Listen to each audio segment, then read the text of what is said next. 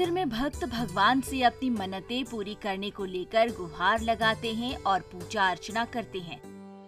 लेकिन बिहार की गया में एक मंदिर ऐसा भी है, जहाँ बिहार ही नहीं, बल्कि दूसरे राज्यों के भी लोग कोर्ट कचहरी के मामलों में जीत सुनिश्चित करने के लिए मन्नत मांगने के लिए पहुँचते हैं। मान्यता है कि इस देवी मंदिर में केस मुकदमे से जुड़े मामलों की मन्नत रखी जाए तो मुरादें पूरी होती हैं और कोर्ट कचहरी के केस मुकदमे में जीत मिलती है। अब आप सोच रहे होंगे कि आखिर ये मंदिर है कहाँ? तो चलिए, हम आपको बताते हैं। गया शहर के बंगला स्थान में माता बगला का प्राचीन मंदिर है। यहाँ माता की बगला मुखी प्रतिमा है, जो कि अष्ट धातु की है। इस मंदिर से भक्तों की आस्था जुड़ी है।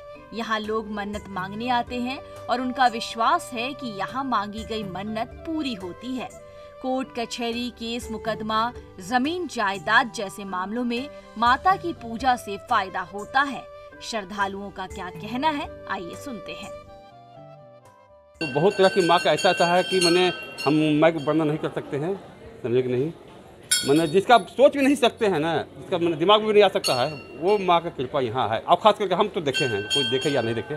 ये हमारे मोहल्ले बगला स्थान यहाँ स्थित है।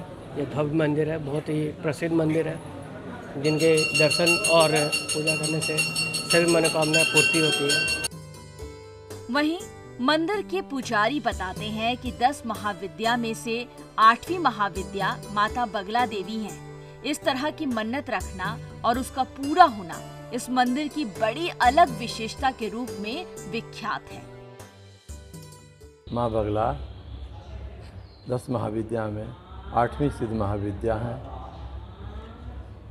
इनकी आराधना पीला फूल, पीला वस्त्र, पीला हल्दी की माला से होता है, पीला प्रसाद रहता है पीला आसन रहता है। हल्दी, सर, पीला सरसों इस सबसे माँ का आहुति दी जाती है, हवन की जाती है। इनकी आराधना मुख्य रूप से शत्रु स्तंभन के लिए कोर्ट कचहरी में विजय प्राप्ति हेतु की जाती है। वहीं श्रद्धालुओं की आस्था और माता की कृपा पर अधिवक्ताओं को भी ताज्जुब होता है। गया व्यवहार न्यायालय के अधिवक्ता का कहना है कि इस मंदिर में दूर दूर से लोग आते हैं। मुवक्किल की आस्था इस मंदिर में है। कईयों ने बताया कि मन्नत रखा था और मुकदमे में सफलता मिली।